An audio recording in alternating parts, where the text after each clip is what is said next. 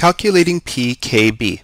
In this problem it says Ka value for lactic acid HC3H5O3 is 1.38 times 10 to the negative fourth power. What is the pKb value for the equilibrium reaction of lactic acid? So usually to calculate pKb we have to find Kb and then we do pKb. So to find Kb we would usually use the reaction, but since we don't have the reaction up here, but we do have the K value, we can figure out what the Kb value is. So Ka times Kb equals 1.0 times 10 to the negative 14th.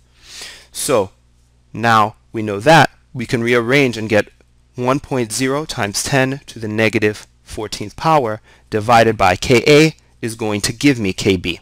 So 1.0 times 10 to the negative 14th divided by 1.38 times 10 to the negative 4th, which is what they gave us here, is going to equal a KB of 7.25 times 10 to the negative 11th.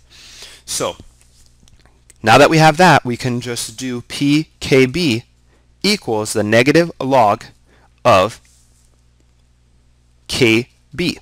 And we know that the, the kb is 7.25 times 10 to the negative 11th. So negative log of 7.25 times 10 to the negative 11th is going to give me a pkb of 10.140. And when it says use three significant digits, this 10 does count as one significant digit and one, two, three these count as the three significants they're talking about. So this 10 here does not really count as a significant digit because we have to have it there.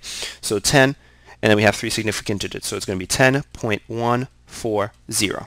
We can also use a method to make sure that we could check it. We could use this and transform this to pKa and know that pKa plus pKb equals 14 and subtract what we got for pKa from 14 to get pKb and we would end up with 10.140 as the answer again.